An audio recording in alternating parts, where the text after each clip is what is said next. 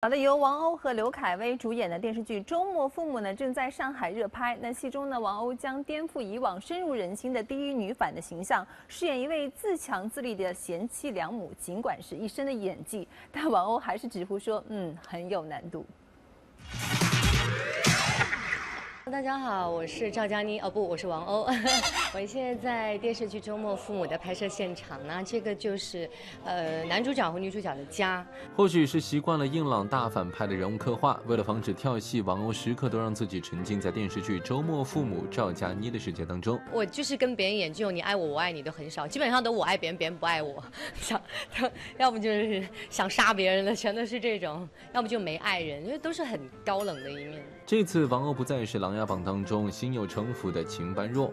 若是殿下赶在太子之前得到梅长苏为手下，那么殿下可愿毫无猜疑？也不再是伪装者当中心狠手辣的汪曼春。当你浑身上下体无完肤，死得像条狗的时候，有谁会记得你？而是一位软萌可爱的好妻子、好妈妈。为了我的儿子，我要做一个爱他、照顾他、保护他。负责任的好妈妈，对，所以就是一开始这种小软萌、小娇妻的那个范儿，就好难拿捏，你知道，好紧张。尽管拥有一身好演技，但在刚刚进组拍摄期间，天生爽朗的王鸥还是常常会因为找不到感觉被导演喊卡。就是你你要撒娇，然后你要很多事情要要学会服软，导演经常会提醒我说，嗯，这个地方再软一点。